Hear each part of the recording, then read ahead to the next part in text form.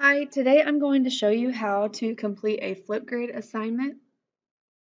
Um, as a student, you would go into your classroom and your teacher might post an assignment or an announcement with a Flipgrid.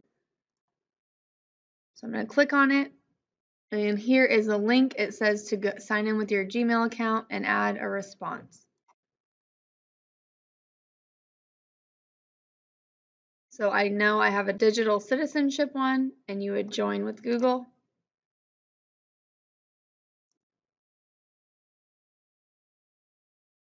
Okay, here's what your screen will look like. And you have the option to read the instructions yourself, but also if you click this blue icon, it will read the instructions to you.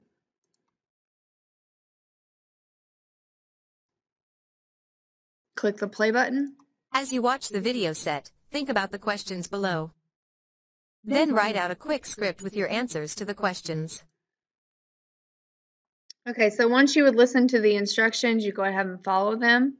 When you're ready to give a video response, um, you can click either this button or this button. Okay, once your window opens, it's going to tell you um, each step. You have four steps. The first one is going to tell you how long you have to record your video. Your teacher will give you a time limit, um, but it says you can click anywhere to dismiss. As you are recording, you have options. If you click the options, you can upload clips, mirror your video, record your screen. There are also effects that you can choose from.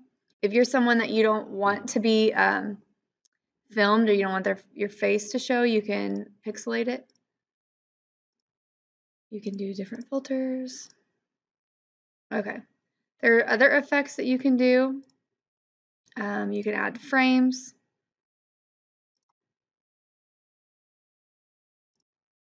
You can add emojis, you can add text, draw, and a board. Um, I'll show you how the board works while I start this video. So once you're ready, you would just click the red button here to record.